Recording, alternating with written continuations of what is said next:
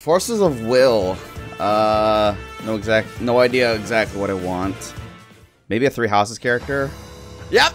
oh wow! I am Dimitri Alexandre. Oh my god, he's hot. Everything has been taken from me. Holy shit! Wow.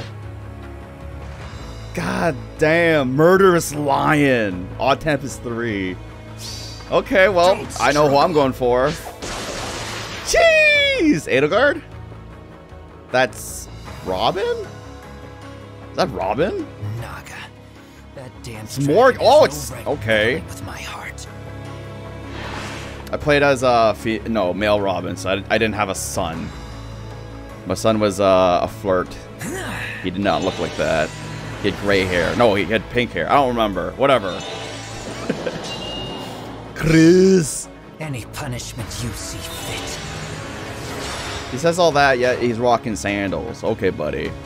Oh, there's Morgan. That's my daughter. Okay, there she Mr. is. Grima, I'll never betray you. I'll stay by your side no matter what form you take. Okay, honey. Yes, you have your phase. Whatever. That's fine. Do your thing. Okay, I understand. Yes, I'm respecting your privacy and your, your independence. You shall fall by my hand. I, I don't think so.